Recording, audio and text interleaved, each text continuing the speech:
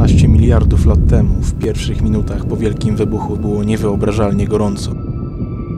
Z próżni wyłaniał się zaczyn materii. Nie przenikało go jeszcze światło.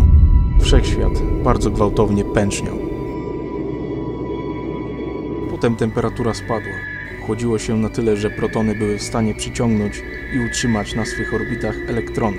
Tworzyły się pierwsze atomy. Materia przybrała znaną nam postać. Wszechświat stawał się przezroczysty, bo naładowane cząstki, protony i elektrony, które rozpraszały światło, nie biegały już samopas, lecz połączyły się w neutralne atomy. Na początku wszechświat był bardzo gęsty i bardzo gorący.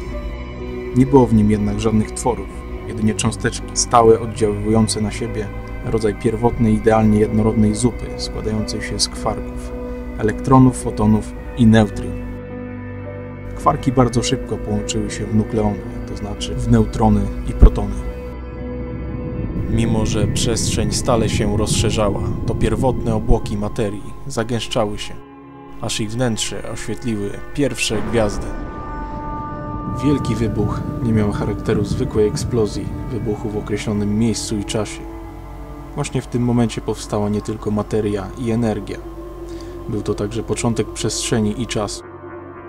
Nie było miejsca, z którego dałoby się usłyszeć czy zobaczyć wielki wybuch.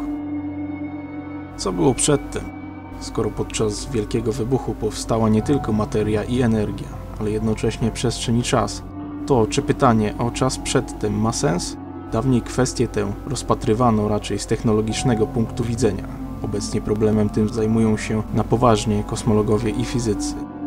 Jedna z teorii sugeruje możliwość powstania naszego świata w wyniku zapadnięcia się wcześniejszego uniwersum. Inna twierdzi, że nowe światy powstają z czarnych dziur.